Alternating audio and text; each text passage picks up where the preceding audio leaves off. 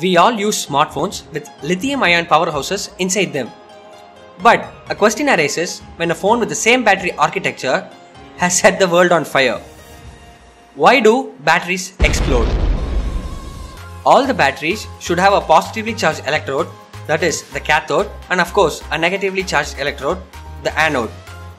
There is also an electrolyte which acts as a separator in the middle. Now, this electrolyte should be so pure for the battery to work.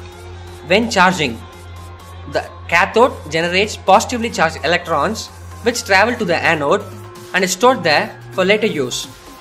Opposites attract. This electrical charge is put to use when discharging, making the device work.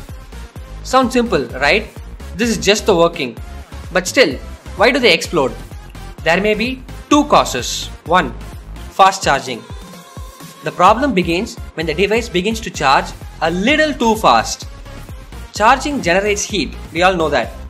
But when it produces a domino effect, producing more and more heat, which is called a thermal runaway, chances are that the battery is going to explode. There. 2. Shots fired at the separator. If the separator is not pure, or the anode and the cathode touch each other by any chance, then you have an answer.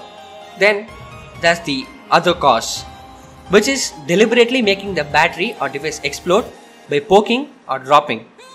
Yeah, you know that. But a point to note that is Samsung still claims that it does not know the real reason to watch the world burn. Some say faulty separators and some say fast charging. We never know. My advice would be to return the Note 7 if you have one.